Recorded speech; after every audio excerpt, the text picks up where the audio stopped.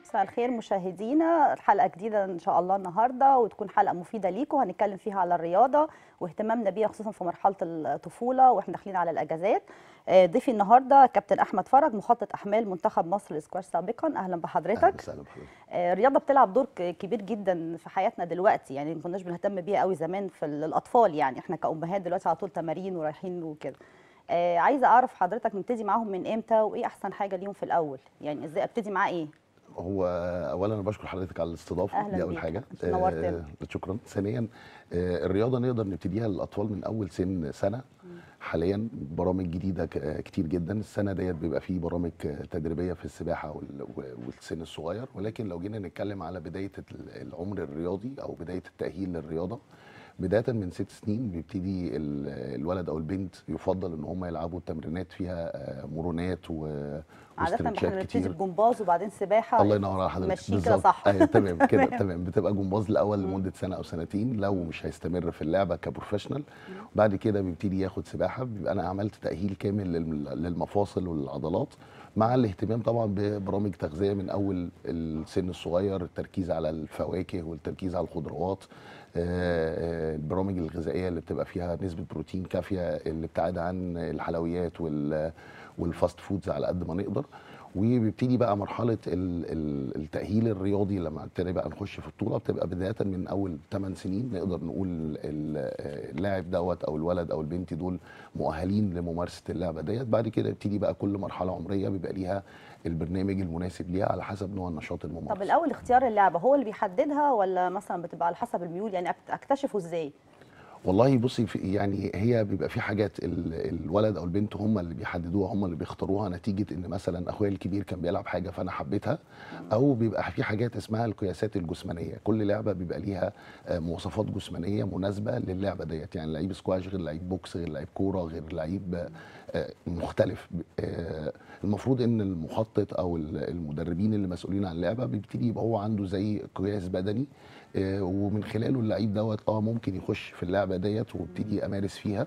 وبعد فترة بيبقى من كل مثلا من ثلاث لست شهور لازم يتم آه، متابعة يعني هو الأول. الطفل بيروح يع- يعجب بحاجة سواء كان ليه أخ كبير بيمارسها أو أو أب أو دي حد في بتبقى العيلة. دي, دي أكتر أكتر نقطة مؤثرة. آه، يعني آه. دي بتبقى أكتر نقطة مؤثرة إن أنا معجب بحد أو مرتبط بلاعب معين أو في حد شاركني فببتدي أتوجه للعبة. أصل الناس كلها بتستسهل وتدخل كرة قدم. آه والله ممكن ده بنتيجة إن الكوره مسوقة اعلاميا بطريقة كبيرة فمعظم الجيل اللي طالع دلوقتي نفسه يبقى محمد صلاح نفسه يبقى كذا يبقى كذا يبقى كذا.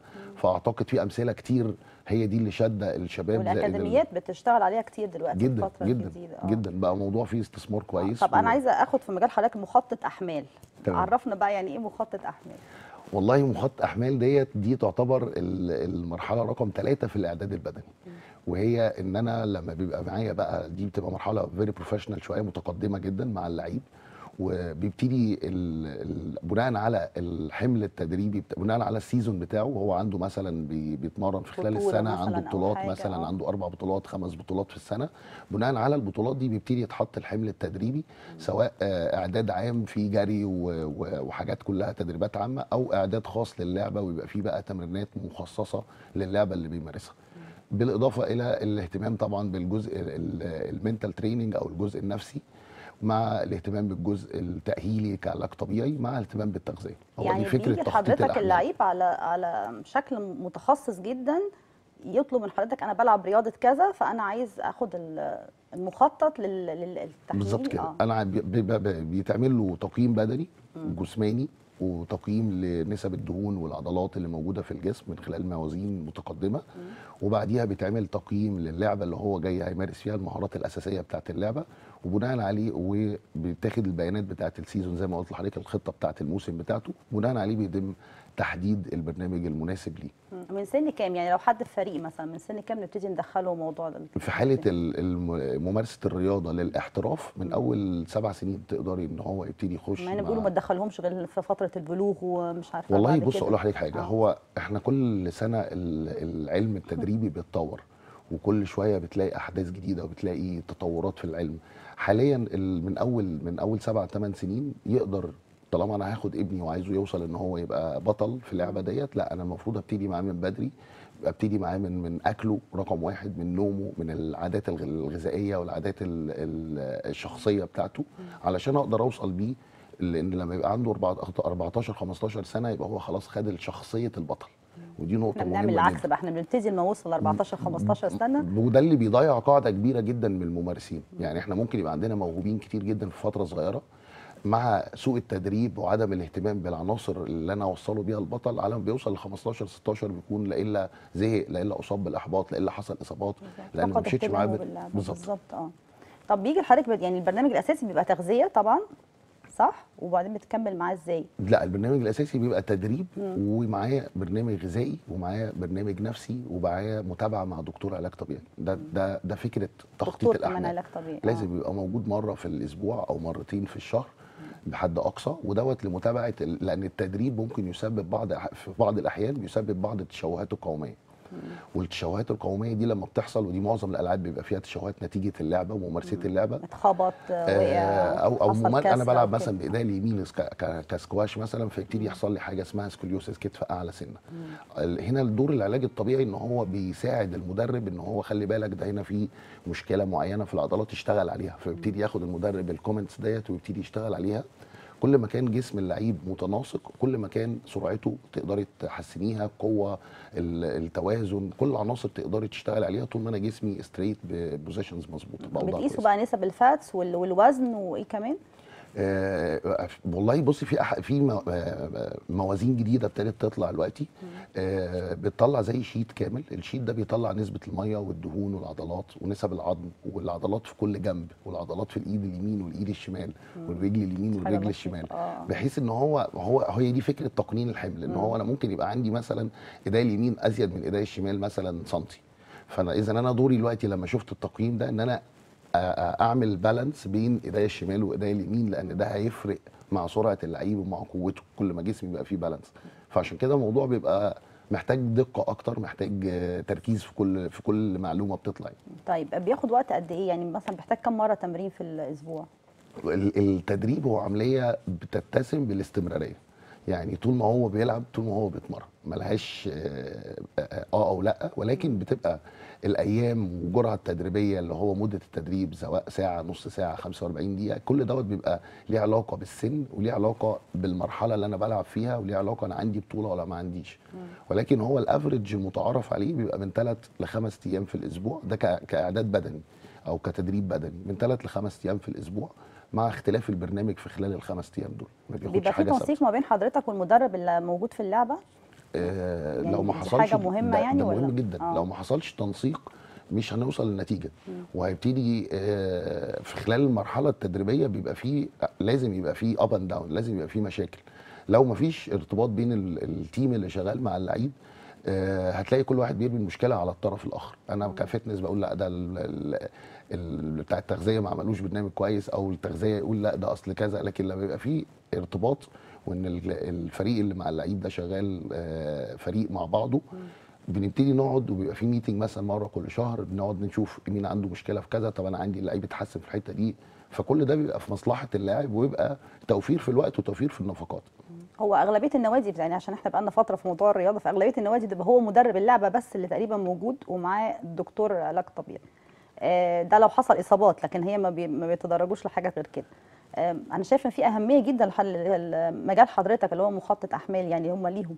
بس مجرد هم بيدخلوهم الجيم وخلاص هو كده يبقى الموضوع عدى يعني, يعني خليني أقول لحضرتك حاجة. طبعا كلامك مظبوط بنسبة 100% يمكن بره الموضوع بقى ده بقت يعني ده بقى, بقى كلية. يعني بطلع مخطط أحمال مش بطلع بكالوريوس تربية رياضيه لا أنا طالع مخطط أحمال. آه. تخصص أكتر في الحتة ديت. والقيمة المادية للشخص اللي شغال في الحتة دي لا القيمة بتاعته عالية جدا لأنه أساس في عملية الاستثمار الرياضي. خلينا نتفق إن الرياضة لا إلا ممارسة عامة. لا إلا ممارسة للاستثمار ممارسة الاستثمار إن أنا عايز ابني يبقى بطل زي أبطال العالم اللي موجودين سواء سكواش أو تنس أو أو أو. في الحالة دي لا أنا لازم أمشي بالاتجاه اللي فيه تقنين للحمل وفيه فريق شغال مع الولد.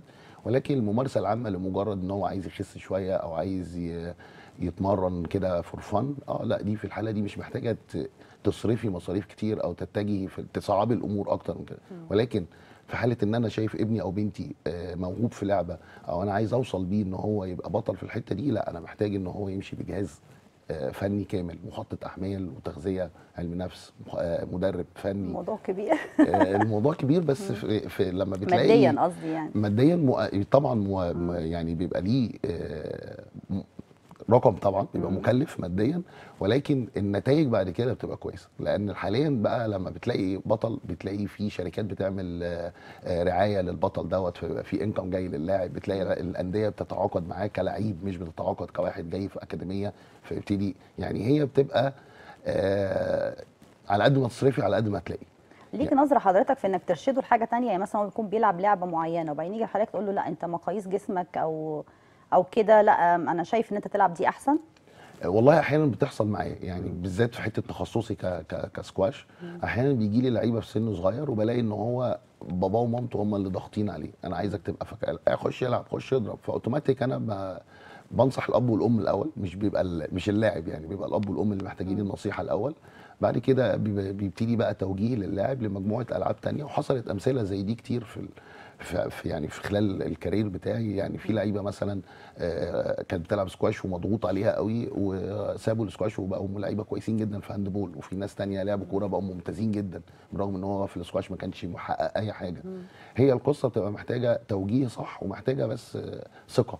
طبعا وحضرتك معانا لازم نتكلم على السكواش والسكواش في مصر يعني كان عامل ضجة كبيرة جدا في. يعني على أيام أنا كان أحمد برادة وكده بعد كده إحنا عشان أنا من هليوبلس فنعرف كتير بقى نور الشربيني وناس كتير يعني ونور الطيب آه اسمه نور الطيب آه. نور الطيب كان آه قبل ما يبقى في دجلة آه دلوقتي ف يعني ليه مجال عندنا إحنا في النادي كبير يعني وصيت آم، لازم اتكلمنا بقى على السكواش في مصر وصل لحد فين وإحنا فين من العالمية دلوقتي السكواش في. مصر لسه كان لغاية امبارح كان في final بطولة اسمها بطولة Masters بطولة الأساتذة ودي أو بطولة العظمى زي حاجة زي آه، في التنس نفس الفكرة بيبقى أفضل 8 لعيبة على مستوى العالم. آه، امبارح لسه اللي كسبان البطولة ديت اللعيبة نوران جوهر ودي آه، بتلعب في وادي دجلة واللاعب آه، مصطفى عسل وده بيلعب في الأهلي. ودول يعتبروا يعني أفضل اتنين حاليا في العالم ده مش كلامي ده كلام البطولة. ده ال- والبطولة كان فيها 8 و8 منهم خمسة مصريين وخمسة مصريات. حضرتك البطوله بتتكلم عليها بأعمار معينة ولا؟ لا دي دي اللي هي ال very professional دي الرجال والسيدات دي لسه كانت بتلعب يعني ال final كان امبارح. كانت في وخدنا حاجة ولا؟ خدنا خدنا ال- الأول الأول رجال والأول سيدات. طب دي حاجة الأول. نوران جوهر والأول رجال خدها مصطفى عسل التسليط بقى الضوء على الحاجات اللي زي دي المفروض تحصل لأن إحنا ما نعرفش غير كام اسم بعد ما بيبتدوا يطلعوا وخلاص صيتهم يتذاع جامد يعني. هي طبعا يعني آخر سنتين ثلاثة ابتدى يبقى في يعني أنا أنا بشتغل في الحتة دي بقالي أكتر من 17 سنة 18 سنة وكنت مرنت فترة كبيرة جدا بطله العالم رنيم الوليلي قبل ما تعتزل. حوالي 11 سنة كنت المدرب مخطط الأحمال بتاعها. آه، آخر سنتين ثلاثة ابتدى يبقى في دعم إعلامي ابتدى يتحسن شوية ابتدى الموضوع يظهر يعني البطولات ابتدت تتذاع في التلفزيون أحيانا. قبل كده ما كانش موجود. نتمنى بقى الموضوع يبقى أيام برادة كانت بتتذاع. أنا فاكر إحنا كنا بنقعد له زي ماتشات ال- كان كان التسويق لبرادة كبرادة. آه. حاليا التسويق بقى للسكواش لأن بقى عندنا أبطال. كتير يعني. آه، يعني طبعا. ما زال الموضوع ماشي كويس و... وعندنا من من واحد لسبعة على العالم رجال مصريين ومن واحد لسبعة على العالم سيدات مصريين. يعني جوه الجيل ال top 10 الصغير طيب. آه ما زال عندنا برضو أوائل يعني أوائل العالم تحت 19 اللي واخدين بطوله العالم تحت 19 رجال وسيدات برضو مصريين. عندنا طفرة في السكواش الحمد لله. طب الحمد لله لأن أنت تفضل آه، على طول يا عاملين رب. طفرة كويسة الحمد لله. من أول المراحل حتى من أول 11 سنة في البطولات اللي بتبقى خارجية بره مصر. بنحقق آه، لعيب كويسة. السكواش ليه مواصفات معينة حضرتك بتشوفها؟ آه طبعا. أول حاجة شخصية. يعني لازم لأنها لعبة فردية عنيفة تعتبر تصنف من الألعاب العنيفة. فلازم يكون عنده شخصية عنده شخصيته هو هو عنده إصرار إن هو يلعب. دي أول حاجة ده مواصفات الشخصية. بالنسبة للمواصفات الجسمانية لازم يبقى عنده تناسق في جسمه وبعضلاته وده بيبان من خلال التقييمات البدنية. ومع التدريب ال- المت... يعني متابعة التدريب بيبتدي العناصر دي بتتحسن ويبتدي القوة بتاعته تتحسن. آه، لازم ياخدها هو طفل صغير يعني ولا ممكن؟ يعني يفضل من أول ست سنين ونص سبع سنين بالنسبة للسكواش. يبقى حتى ممارسة لمدة مرتين في الأسبوع ثلاث مرات في الأسبوع علشان يبتدي يفهم اللعبة لأن اللعبة فيها مهارات كتير جدا. فبيبقى محتاج يبتدي من بدري بداية سن المنافسة من أول 11 سنة. يعني أول سن يقدر ينافس فيه تحت 11 سنة. في لعيبة ساعات ممكن تبقى متميزة يبقى عنده 8 سنين وبيلعب تحت 11 وفي لعيبة بيبقى عنده 10 سنين وبيلعب تحت 11 كتير بيخافوا تبقى الرياضة هي يعني بتعطلهم عن الدراسة والحاجات دي مع إن الفكر ده دلوقتي ما بقاش موجود قوي. يعني أغلبية الناس بتبقى يعني- عارفة عادي إن هو ممكن يكمل دراسة يعني. هقول لك حاجة بحكم بقى شغلي في الاسكواش أنا يعني تقريبا بنسبة 100% لعيبة الاسكواش كلهم مخلصين هندسة وفي ناس دارسة بره في أمريكا ومخلصين أنا جامعات بشوف إن الرياضة بتخليه منظم أكتر جداً، يعني بيبقى معتمد على نفسه ومنظم قوي وقته. عارف إن ده وقت. قدامي قد, كده عشان أخلص الوقت ده. بيبقى, بيبقى أول حاجة الرياضة بتخلي تنظيم للوقت رقم اتنين الرياضة بتخلي دايما عنده حافز إن هو هو بيذاكر بسرعة عشان عنده تمرين ورايح يشوف أصحابه. ما هي برضو الرياضة ما هو مش الموضوع مش تعذيب يعني هو بيروح يتمرن ساعة بيقعد مع أصحابه شوية بيتكلم مع المدرب بياكل طبعاً حاجة. فالموضوع بيبقى وقت بعد كده، بالظبط. آه. فبتتاخد إن هي ده حافز يعني لأ ذاكر كويس اعمل نتائج كمل. بتنصح المدارس يبقى فيها إيه؟ يعني من إزاي ننشط الرياضة في المدرسة؟ والله هو كان يعني زمان قوي قوي على أيام ما أنا كنت في المدرسة كان الموضوع في حاجة اسمها اللي هو ناس بتنزل بتعمل زي اختبارات لطلبة المدارس كان في زمان قوي دوري بيبسي والحاجات دي الحاجات دي طلعت أبطال كويسة جدا. آه حقيقي. إحنا محتاجين نرجع تاني للقصة ديت إن هو يبقى في حصة التربية الرياضية تبقى مش مجرد إن الولاد بينزلوا يجروا خلاص لأ لازم يبقى فيها أكتر من نشاط بيمارس في المدرسة. محتاجين المدارس يبقى مخصصة مكان لممارسة النشاط الرياضي. دي نقطة مهمة. إزاي امارس وأنا ما عنديش حتى 50 متر امارس فيهم رياضة. آه، محتاجين طبعا متابعة تغز... متابعة تغذوية. دكتور تغذية يبقى بيشرف على الولاد لأن لو أنا عندي أنيميا أنا عمري ما ما هعمل تحصيل دراسي كويس أساسا. محتاجين متابعة للعلاج الطبيعي للولاد من أول السن الصغير نتيجة تشيل الشنطة والقعدة غلط. كل الحاجات دي بتعمل تشوهات قومية. لو اتعالجت في سن صغير أكيد الموضوع يبقى أحسن. الرياضة أحسن حاجة يعني إحنا بقى بالنسبة لنا خلاص كبرنا شوية ومارسناش رياضة قبل كده. آه، أمارس رياضة الصبح بعد الظهر يعني نصيحتك لينا إيه؟ آه ممارسة أو الرياضة. ممكن حاجة في يعني يعني السن يكبر شوية. ينفع يعني خلاص ما بقاش مدارس وجامعات وحاجات كده. ينفع نرجع نشترك في رياضه أنا معترض على حتة السن يكبر. الرياضة آه. ملهاش سن. أوكي. يعني ممكن ناس يبقى عندها 90 سنة وبتمارس رياضة. الرياضة هي عبارة عن عادة. زي ما حضرتك بتحبي مثلا في ناس بتحب تاكل أنا قصدي فاكهة. رياضه كلعبة مش كجري أو مثلا آه، كلعبة بس بعد كده. بعد سن الجامعة هتمارسي أي رياضة بتحبيها تقدري تمارسيها بس مش هتخشي في مرحلة المنافسة. يعني مش هتوصلي إن أنا أبقى بطل بعد ما بعد ما أخلص الجامعة. محتاج إن أنا أمارس وأنا صغير. ولكن بعد سن الجامعة أقدر أمارس رياضة. آه طبعا أقدر أمارس أي نوع رياضة. آه طبعا الجيمات دلوقتي في مصر آه حصل تطور كبير جدا في الجيمات بقت موجودة في كل حتة. آه المجال الرياضي في مصر آه، ابتدى يحصل فيه تطور كتير جدا. آه، آه، إيه إيه المناسب بقى بالنسبة للست إيه المناسب بالنسبة للراجل؟ آه، أفضل حاجة إن أنا أخلي آه، العادة تبقى عادة فيها استمرارية فالأفضل إن أنا أخليها من يومين لثلاث أيام في الأسبوع. أنا حاطط لنفسي جدول زي ما أنا عندي شغل كذا عندي كذا أنا عندي بإيه بقى؟ مشي وبعدين الجري والحاجات دي؟ آه، على حسب الحالة برضه على حسب التقييم. خلينا نتفق إن شغلي مع ال professional علمني إن أنا لازم أبقى professional حتى لو شخص مش مش مش بطل. آه، حضرتك مثلا هتي هتروحي الجيم فانت محتاجة تعملي تقييم. بناء عليه بيتقال لك مثلا أنا محتاجة آه، أتمرن ثلاث أيام محتاجة أعمل كذا. المدرب اللي موجود المفروض إن هو بقى بيقول لك هنبتدي بمشي مثلا لمدة 10 دقائق هيبقى في circuit training على ال machines مثلا تدريب دائري على الأجهزة آه، مجموعتين أو ثلاث مجموعات هنظبط الأكل بالشكل الفلاني آه، وأهم حاجة بيبقى في متابعة كل من ثلاث شهور لست شهور متابعة تقييم طول ما انت بتلاقي في آه، تطور في في الميزان بتاعك تطور في المقاسات تطور في في الهابتس في العادات بتاعتي اعرفي انت ماشية في الطريق الصح. طيب النصيحه بقى حضرتك تقولها لنا كده عامة قبل ما نختم الفقرة. آه للرياضة عامة يعني أنا عندي ابن عايز ادخله مجال الرياضة وخليه يستمر فيه ويبقى حد كده لنفسه حتى مش لازم يبقى حاجة يعني مهاري فظيع. آه، أهم حاجة إن أوضح له فايدة الرياضة و- و- وأهميتها وادي له دايما أمثلة ناجحة للمحيط اللي حوالينا بالناس رياضيين. هتلاقيه لوحده ابتدى يتجه لل- للاتجاه دوت. رقم اتنين المتابعة معاه في إن أنا أروح معاه مرة واتنين وأتابع وأشوف هو بيتمرن مع مين.